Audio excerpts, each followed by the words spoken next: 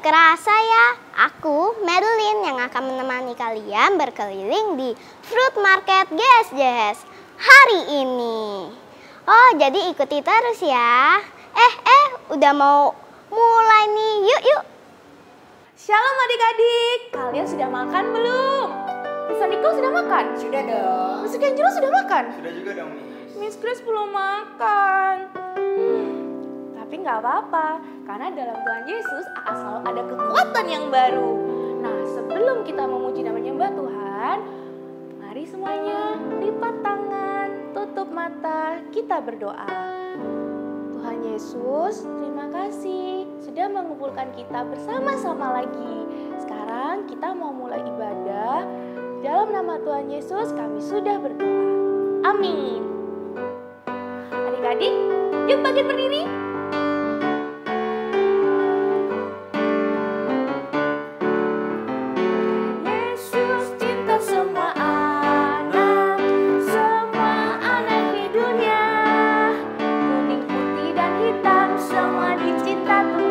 Yesus cinta semua anak di dunia.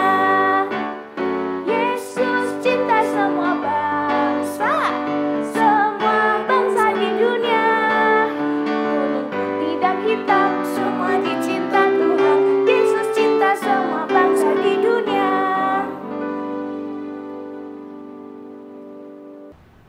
Siap lagu yang kedua? Mari kita mulai.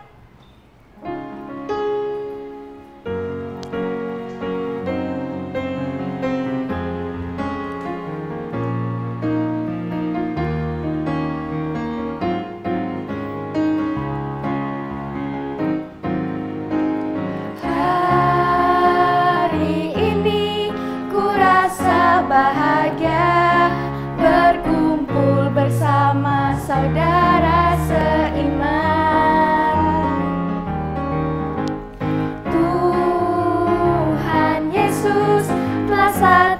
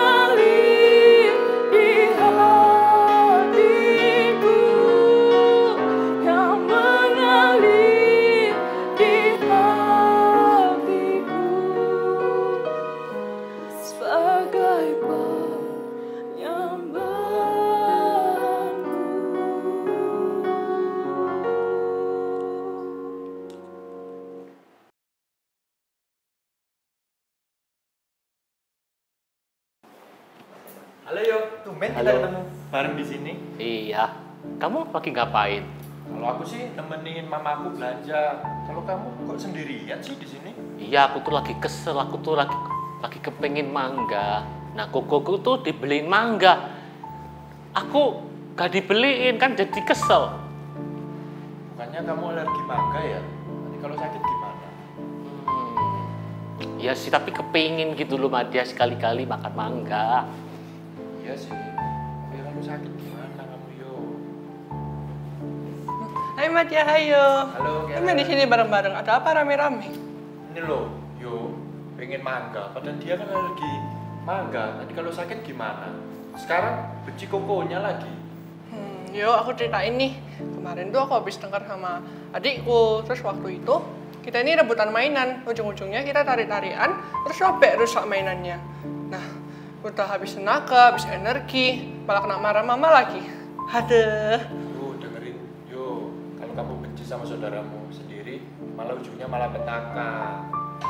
Nah, terus kalau misalnya tadi kalian tak tengkar, kalian tak benci, malahan kalian bisa makan pisang bareng-bareng deh. Hmm, gitu ya. Ya deh, makasih ya Madia. Makasih ya Karen. Aku jadi kepengen minta maaf sama kokoku aja deh. Supaya bisa main bareng lagi.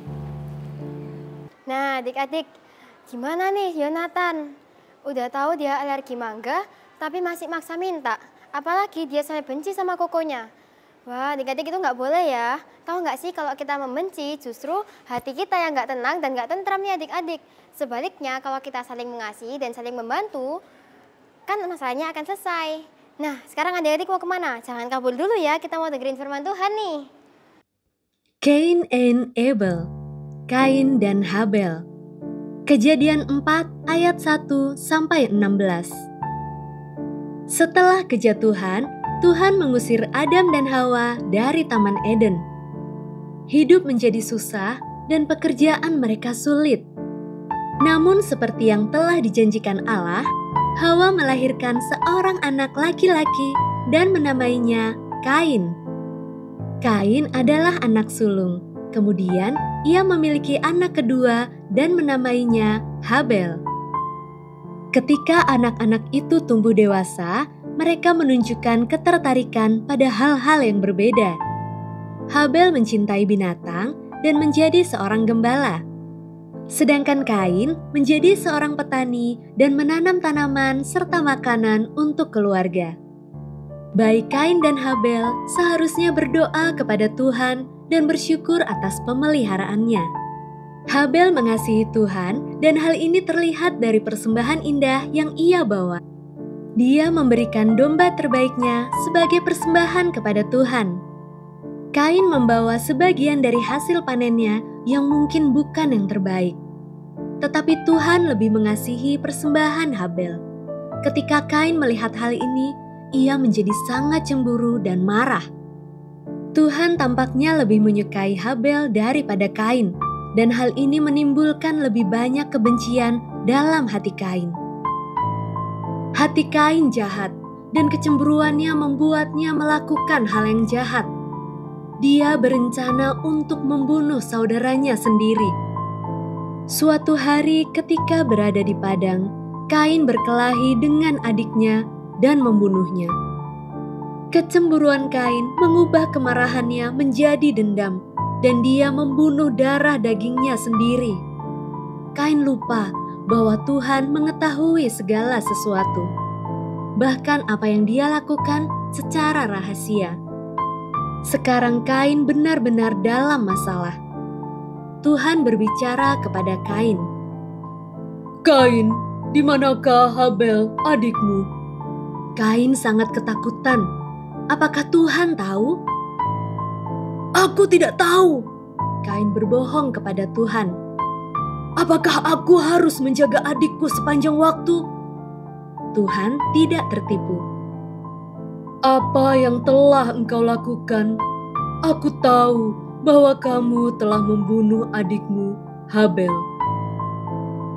Tuhan kemudian mengutuk Kain dan mengusirnya. Kain tidak dapat lagi menanam dan memanen hasil bumi, tidak peduli seberapa keras dia bekerja. Bahkan dalam hukuman ini, Tuhan melindungi Kain dengan memberikan tanda khusus kepadanya. Tanda ini berarti bahwa siapa pun yang membunuh Kain akan dihukum berat. Sejak hari itu, Kain menjadi buronan di bumi.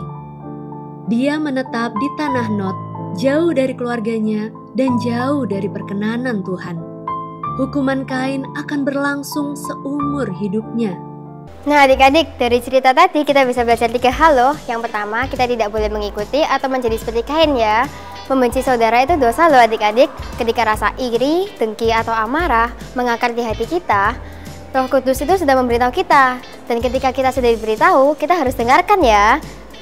Yang kedua, mau memberikan persembahan untuk Tuhan.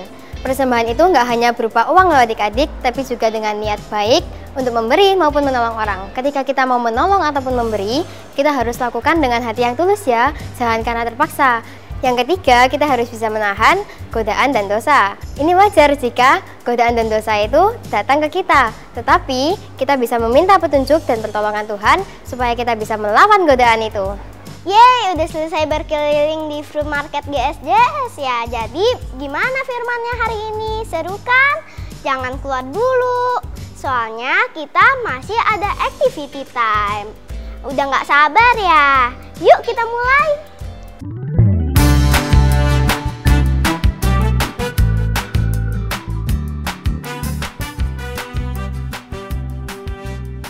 Nah, sudah selesai dengan firman Tuhannya ya. Hari ini kita mau activity time.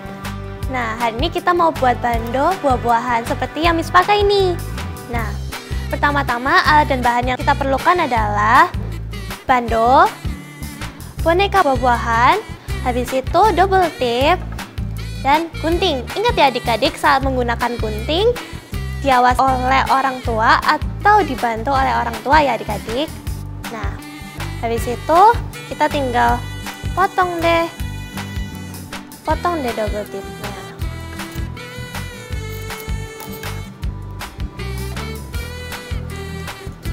habis itu adik-adik tinggal tempel deh di sini jika mau lebih kuat lagi agar tidak cepat lepas adik-adik bisa pakai lem tembak ya adik-adik nah sudah jadi deh, lucu kan? Seperti punya Miss nih. Nah, kalau sudah selesai, adik-adik bisa post di IG story dan tag at PM. See you and God bless you!